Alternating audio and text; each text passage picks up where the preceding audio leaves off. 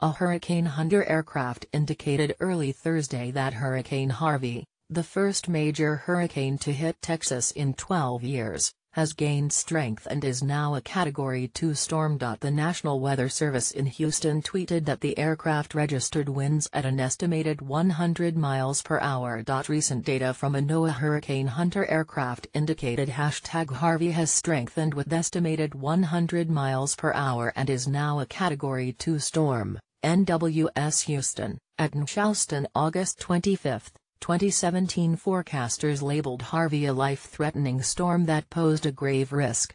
Millions of people braced for a prolonged battering that could swamp dozens of counties more than 100 miles inland. Landfall was predicted for late Friday or early Saturday between Port O'Connor and Matagorda Bay a 30-mile stretch of coastline about 70 miles northeast of Corpus Christi. Harvey grew quickly Thursday from a tropical depression into a Category 1 hurricane. Fueled by warm Gulf of Mexico waters, it was projected to become a major Category 3 hurricane. The last storm of that category to hit the U.S. was Hurricane Wilma in October 2005 in Florida. Texas Governor Greg Abbott said in a statement that President Donald Trump called him to pledge all available federal resources to assist in preparation, as well as rescue and recovery efforts.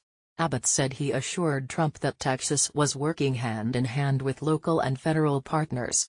FEMA stands ready to support state, local and tribal officials as they prepare for Hurricane Harvey, Administrator Brock Long of the Federal Emergency Management Agency said in a statement.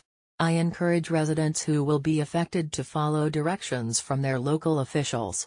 Know your threats, heed the warnings, and if you're in the path of the storm, Ensure your family is prepared for possible prolonged disruptions to normal services. FEMA established an incident support base at Randolph Auxiliary Airfield near Seguin, Texas, filled with supplies such as water, meals, blankets and other resources to be available to potentially affected residents. Evacuations in Texas along the coast were being prepared, Fox 29 San Antonio reported. The Associated Press contributed to this report.